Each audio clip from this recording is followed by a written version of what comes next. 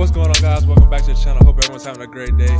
Uh, thanks for tuning in. If you haven't uh, subscribed already, please go down below, hit that subscribe button, like button, and also turn on notification bell so you don't miss any more of our videos.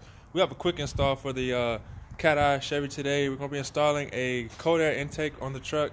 Um, link will be below in the description. Uh, we're going to be installing that on the truck today. But first, you can see the lighting that we have outside under the carport is just horrible. So we're gonna change that out real quick. So uh picked up some uh I'm sure everyone's been seeing these going going around on online and everything, the LED deformable light. Um they're supposed to be super bright, so we're gonna throw I have two of these, we're gonna go ahead and throw these in. Um and upgrade our lighting before we knock out the air intake. Heard a lot of good things about these, so uh, we're gonna go ahead and see what they're all about.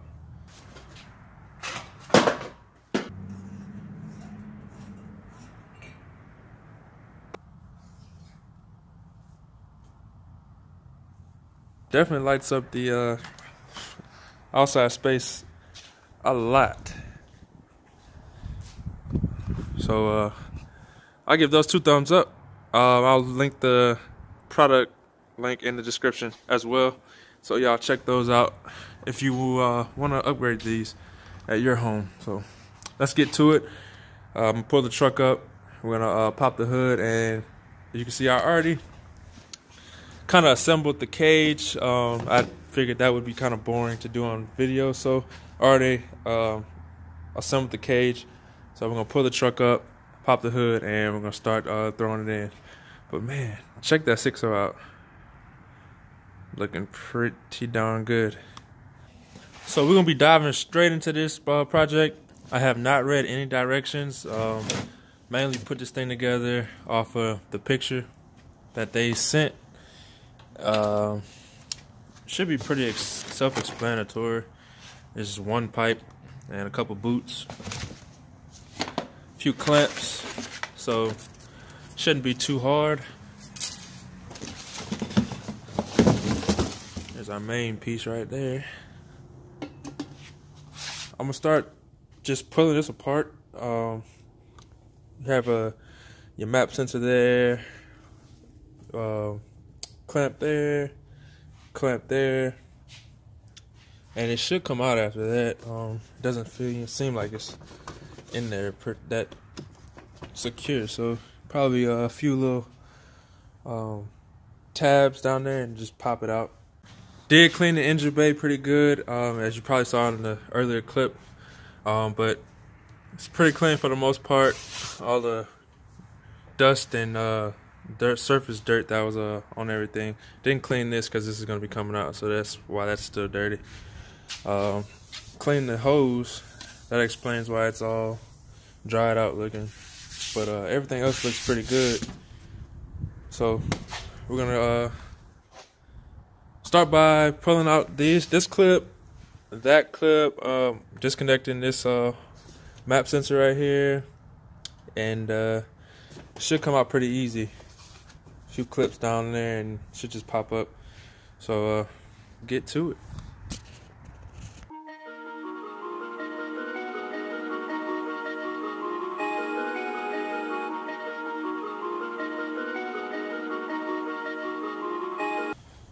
Well, that was pretty easy. I literally took like a minute to pull that out. But uh, yes, I put the beanie on. Uh, it's getting a little cold outside, so covered up a little bit. But like I was saying, that literally took like a minute to pull out. I'm feeling like that was a little too easy. But uh, we got it out. And I don't understand this design at all. Uh, it's like a big bladder bag or whatever. Like why? Jim, explain. Doesn't make any sense. Ford would never do that. Just playing. No, I don't want no one comments.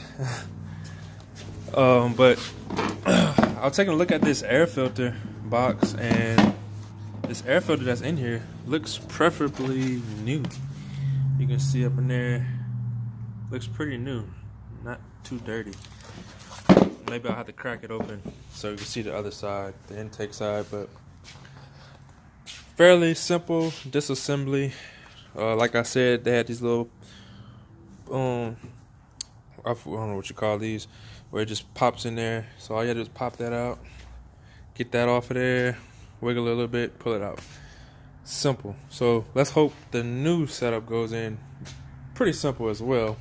I'm gonna go ahead and clean up the uh, valve body because the truck has it doesn't have a hard idle, but it has it kind of sometimes it'll idle real real low and almost seems like it wants to kill. So we'll go ahead and um, clean that out. I saw um, Ryan Mayer do this on his uh, Vortec, so uh, we're gonna give it a shot. Hopefully that fixes it. Um, it's not really broken; it just does it sometimes. So we're gonna go ahead and do that and see if it uh if that helps us out while we're pulling this apart.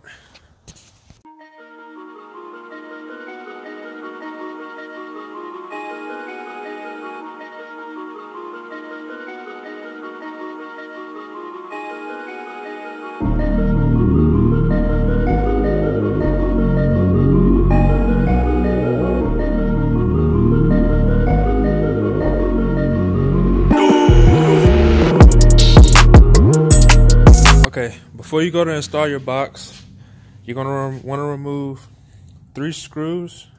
One here, there's one on this front corner, and this one right here. They're they look like this, and they fit down through these three holes on your new box. One like that, there, and right there. And they are they're 10 mil bolts. So you want to remove those first. Grab your box. Go ahead and try to situate it. When you put it in, you want to make sure these bolts are loose so you can have room to move it around. Because um, it's not going to line up perfectly when you first put it in there. So make sure these bolts are loose when you first put it in so you can wiggle it around and fit it how you want it. But I'm gonna go ahead and do that, and then I'm gonna catch back up with you guys, show you the next step. Now that we got the box in, all tight, um, secure, we're gonna go ahead and assemble the map sensor with the new um, filter, and go ahead and put on the boot from coming out of your throttle body. So when you take your map sensor off your old uh, intake, make sure you keep this rubber uh, piece with it because the way it goes on here is this piece slides on to the filter. Let's see, do it with one hand here. But this basically slides onto the filter like that. And then this boot goes from there to your intake pipe. And then this boot comes straight off your engine like that with a clip or a clamp, hose clamp like that and goes on like that. So that's the gist of it. I'm about to go ahead and throw this in. Um, and we'll be just about done, guys. I'm gonna give you guys a startup clip of the first startup with the new intake on. So, uh, but when you go ahead and put the pipe intake pipe, the curb, the curb side, or the side with the curve in it, is gonna go towards the motor. So it's gonna be something like this, and this little piece right here will clamp on or you'll push this little thing through that. And the long piece on the intake will go on this vibration mount coming off your air box right there. You can see that little stud coming out with the washer and that rubber isolator. That's where this long piece will connect to. So uh, I'm gonna go ahead put you guys on time lapse and we're gonna finish this project up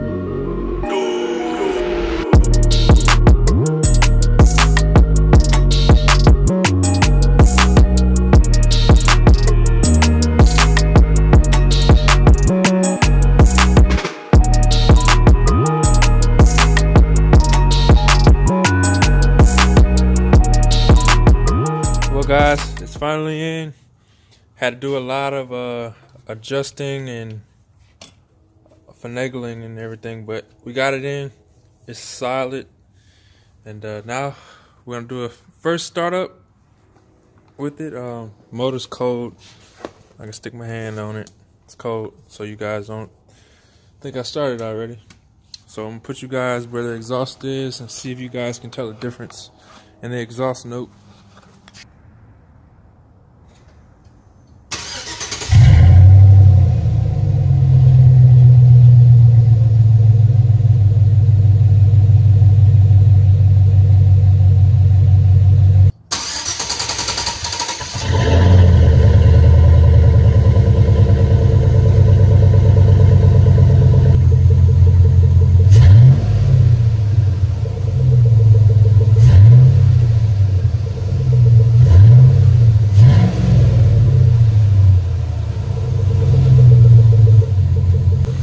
Really hear it pull air when you hit the gas.